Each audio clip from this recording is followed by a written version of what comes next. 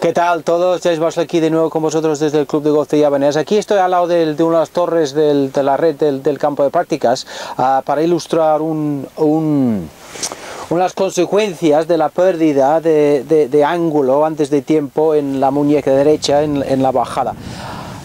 Unas razones principales por, golpes pesados, por tocar atrás, es esta pérdida, la mala, mala gestión de la retención del lag y después su pérdida en la bajada, es que muchos jugadores amateurs pues llegan al momento de impacto con demasiados pocos, demasiado pocos grados en, en la muñeca derecha. Entonces, ¿qué pasa?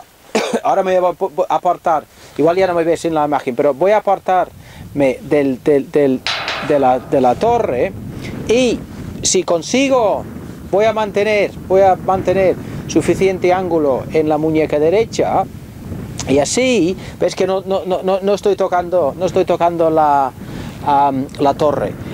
Ahora en cambio si empiezo a extender si empiezo, si empiezo a extender la, la muñeca la muñeca derecha excesivamente qué es lo que pasa que estoy aquí y ahora ahora Ahora ves que casi todo el cuello del palo ya, ya, está, ya está en contacto, está tocando la, la torre. Entonces, ¿por qué? Porque al extender la, la, muñeca, la muñeca derecha, pues estoy alargando un poco el radio del, del, swing.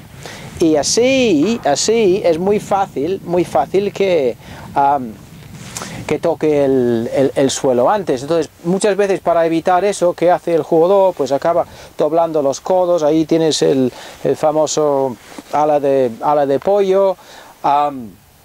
Y entonces, el jugador pues se cansa, se cansa de tocar el, el, el, la moqueta del césped, acaba doblando un poco los codos y para evi evitar eso. Entonces, solo quería ilustrar esto así ves, así no toco, no, no estoy tocando la, la, torre, si extiendo, la muñeca se ve claramente como el, el, el, palo se hace más largo y así es mucho más fácil que, que entre en contacto con el suelo antes de tiempo.